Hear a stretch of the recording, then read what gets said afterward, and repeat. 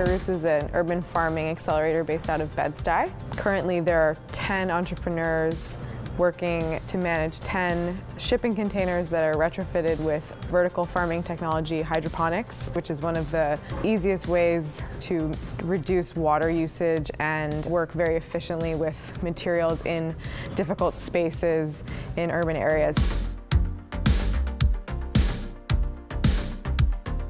The mission of Square Roots is to train the next generation of farmers who are probably going to be working in a landscape growing food for people in an increasingly urban setting. More and more people are moving to cities and also demanding healthy, fresh food. So the combination of those two things creates a really interesting niche for food entrepreneurs. You know, when you're growing fresh produce in the heart of the city and bringing that to people. That's a much more sustainable way of feeding people and a much more personal experience to, to kind of interact with your food and know your farmer, know where your food comes from. We can create almost 40 pounds of food a week and upwards of 60 pounds if, depending on the variety and we use only 10 gallons of water a day which is pretty incredible. So the system is actually quite simple, yet complicated at the same time. But we recycle the water in a loop, and we have it in the main tank in the back over there. And it comes up through the farm and drips down through all the towers, which allows the plants to grow.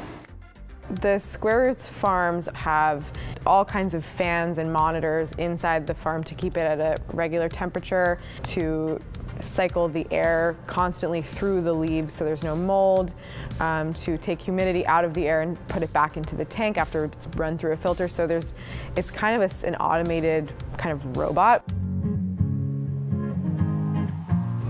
An important thing to consider if you're growing food in an urban setting is space. I mean, it's expensive to have any square footage in this city, so we want to make use of as much square footage as possible. Basically, you'll plant seeds in a tray, keep them in a seedling area for until they're big enough to move into the towers, which is essentially like the farm. Like if you think of the rows you would see in a field where all of the greens are growing, that's what that is, except they're all vertical.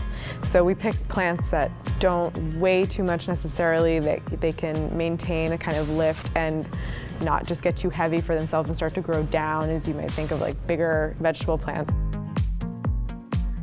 So the lighting actually supplies most of the heat as well as the light for photosynthesis for the plants. We use LED strips that hang that have two colors of light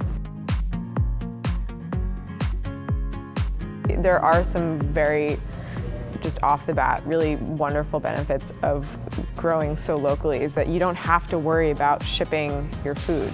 You're not planning to. You're going to cut it and then bring it immediately to who's eating it.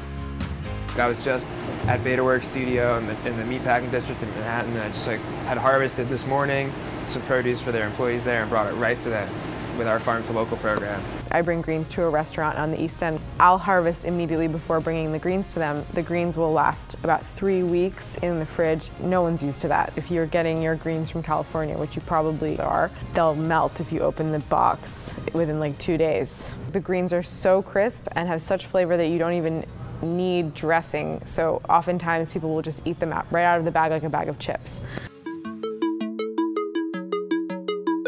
I love the community of farmers. It's just been so interesting and inspiring to see how each person has developed the concept of their business, which it doesn't feel like there's competition necessarily between who, you know, who our markets are because we're all approaching different markets in a different way. The possibilities of innovation and um, finding those niches are just seem so endless, which is really great.